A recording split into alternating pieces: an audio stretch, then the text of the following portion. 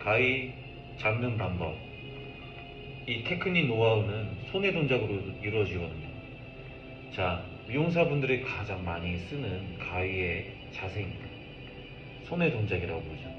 자, 요건 어떻게 잡냐면은 처음에 여기 네 번째 손가락 우리 결혼 반지 끼울 때 네 번째 손가락에다 끼워주고 이 정도까지는 할 수 있죠. 그 다음 요거 엄마 손가락으로 튕겨줘. 튕겨주면 여기 거, 이렇게 새끼 손가락 걸리지.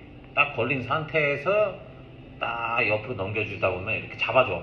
일단 떨어지지 않게 잡아줘야 될 거 아니야 새끼 손가락으로.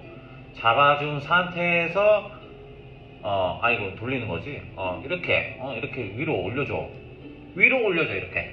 으차, 으차, 으차. 여기까지 일단은 어 1번과 2번 그리고 이렇게 잡는 거. 어. 자, 가위 잡는 방법은 이제 어느 정도 알겠죠? 가위는 이렇게 잡으시면 돼요.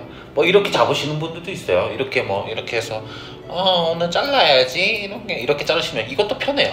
어, 본인이 편한 거 하시면 돼요. 저 같은 경우는 뭐 이런 식으로 해서 이렇게 하면 장점이 있어요.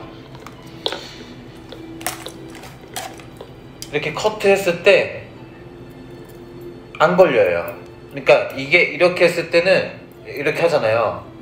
보통 이렇게 하잖아요. 근데 이렇게 하면은 뭔가 이렇게 살짝 돌리면서 자를 수도 있고 걸리적거리는 게 없어져요. 좀 약간 이거는 미용사분들이 커트 해 보시면 느, 느끼실 거예요. 아 남자들은 이게 편하구나 아니면 여자들은 아 이렇게 편하구나 편한 그걸로 하시면 돼요.